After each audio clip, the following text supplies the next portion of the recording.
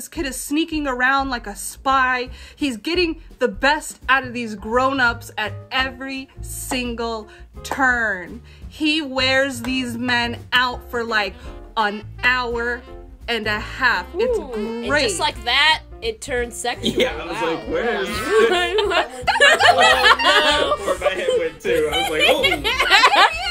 Hey, You guys are the worst.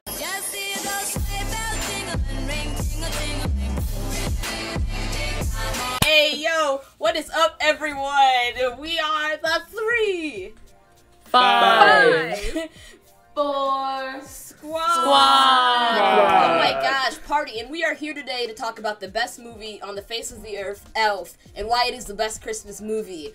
Um, so yeah, welcome, welcome everyone. No, what are we doing today, guys? I don't. Yeah, that's not what we're doing. We're here to debate which movie is the best Christmas movie. Oh, pew, pew, pew, pew, which is Elf. happy holidays. Happy Hol- Merry Christmas! This is coming out Christmas Day. This is our Christmas Day video.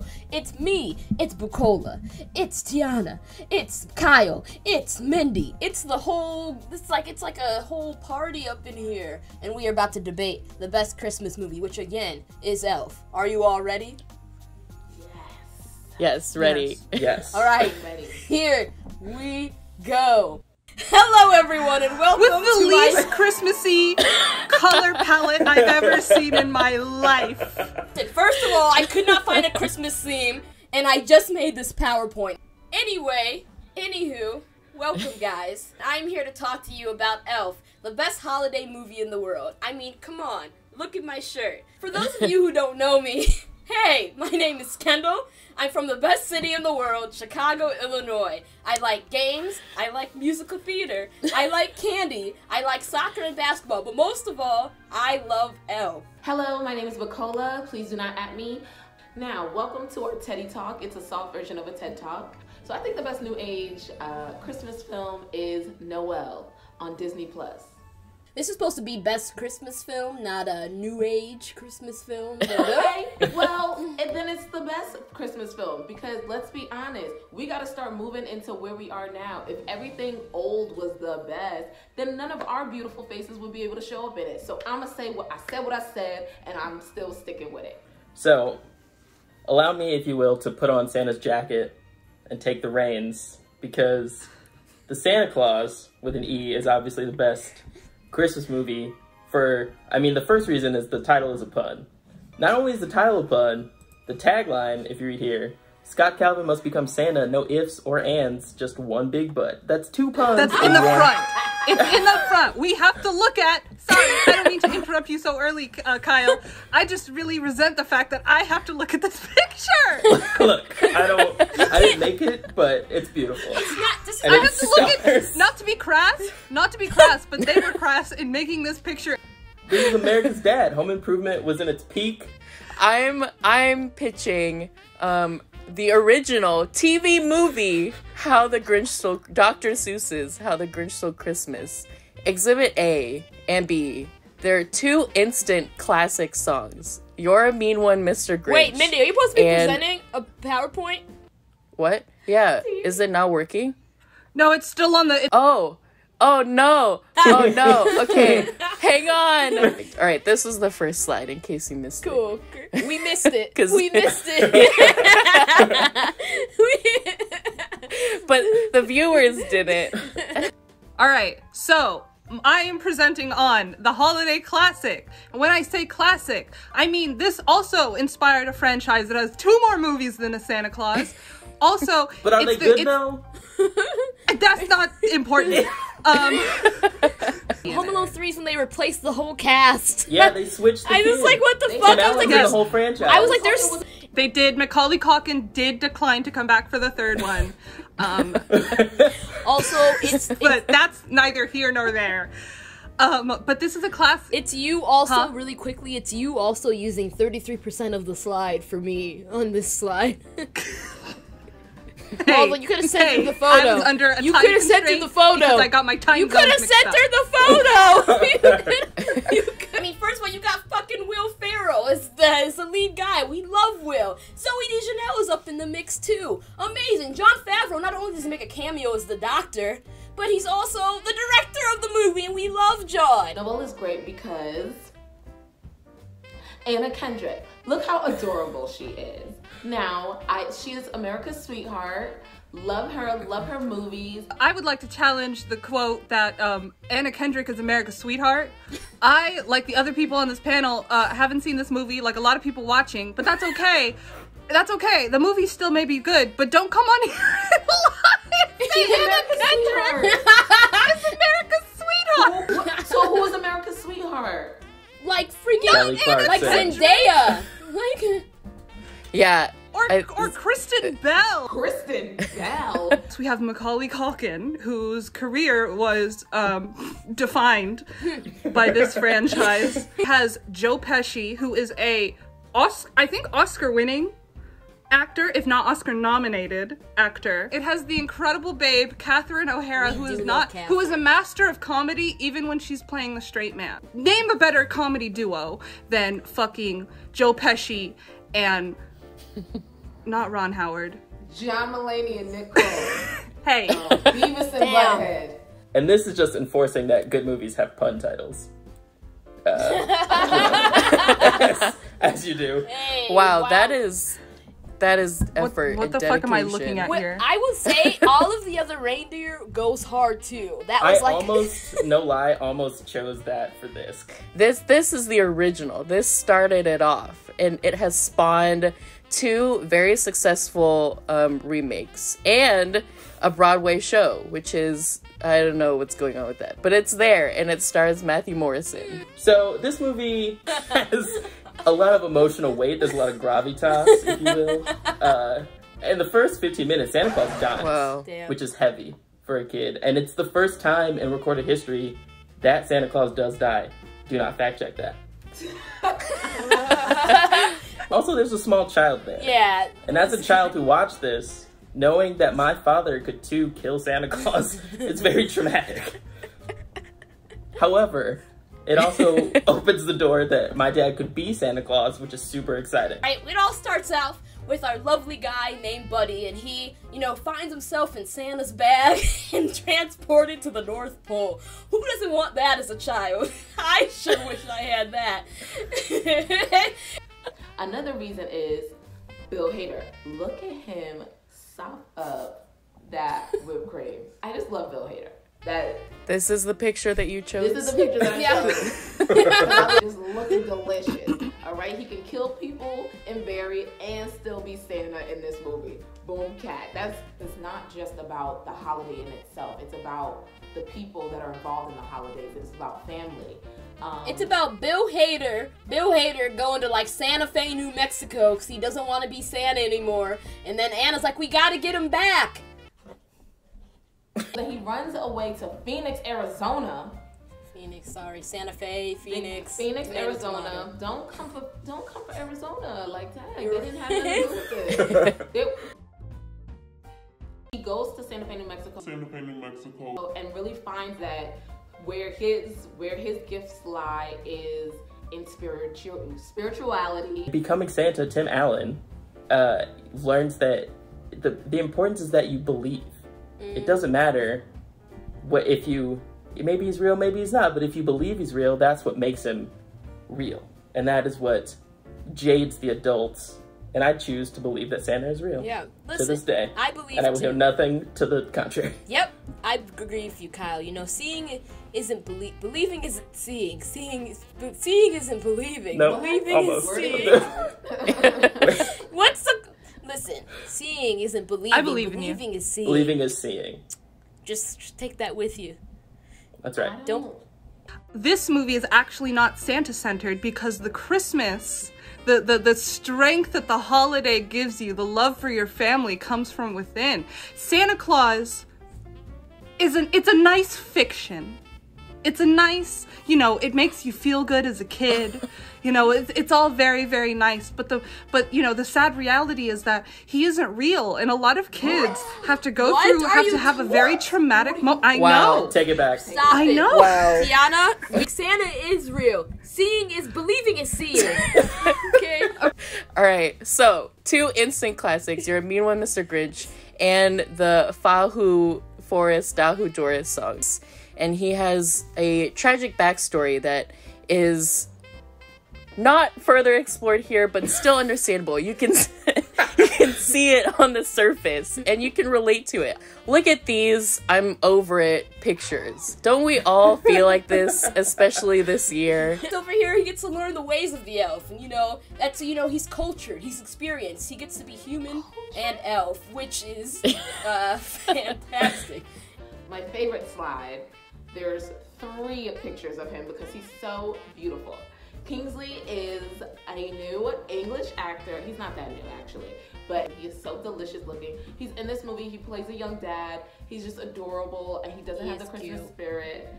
And you know, just giving him the Christmas spirit was like so wonderful. It sparked an entire franchise, including a perfect sequel, The Santa Clause 2, and Perfect. a third movie that people also watched. Uh, Uh, he, he he overhears two elves talking about like he's human, and then he can't believe it. But that just shows how pure and how awesome this man is as an elf. And also, I like to point off right here, directing style. And how easy to trick. real easy to. He's just he's naive. He he's childlike. He shows and embodies the joy and wonder of Christmas, which is why he is amazing. I want to just also point out in this lovely photo, um, Jon Favreau directed. They did so many forced perspective and beautiful cinematography and shots in this movie too. Kevin shouldn't have been banished up to the attic. That's why they forgot him. It's okay. My dad had to take my siblings to school one time and he fully left them at home while he drove to the school. So it happens. It is a magic wish fulfillment movie without having to be Santa centered. Kevin straight so up committing these- murder. That's we're looking at murder right here. We're just looking at we're looking at murder. But did they die? Attempted. but did they die? there is a slide where a man is a skeleton, so maybe. Hey, okay, but he lived. He lived through that. And you know what? They were stronger. They were stronger criminals for it because they did come back in the second movie. Does uh does Anna Kendrick sing in this movie? She, do, no, she only sings a little bit. It's like she calls uh, uh, Snowball. That seems like a missed opportunity to have Anna Kendrick named Noelle and not sing. That is Yeah. true. She does sing a little bit. he does all the things. All right. He makes and creates so many different foods This too. Is, this is why you like No, this no, no. movie. no, no, no. This is these are iconic and classic scenes. He. Spaghetti is basic. You could actually put spaghetti on anything, so this is not a bad idea. It's terrible. That's not honest. true. hey. It's a terrible idea. Um, and then at the very end, you can see, look at all of that Christmas spirit lifting up that heavy sleigh of toys.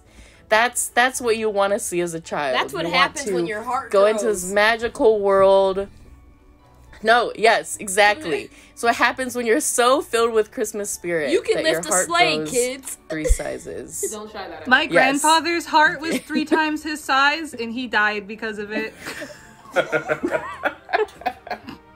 You have to call the police, Kevin. Kevin had the phone and he said, No, I'm going to electrocute and flamethrower them instead. The phone, okay, but this is an example. This is a perfect example of why we don't need the police. We need our own community. We need a community that knows how to keep itself safe. We all need to have a flamethrower attached to our doors. He didn't just have a flamethrower. Like he rigged this up. This kid is this child is a genius. And it shows other children. Here's what your ca- like. It's teaching children to engineer their own safety. Death traps.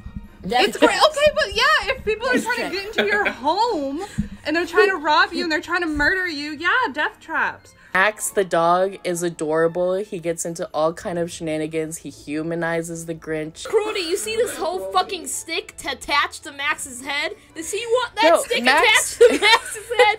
You see how the Grinch was having him Max has a wonderful life. Uh uh Look at how happy Max is. Look at him. Get his, He- his tail in the sewing machine.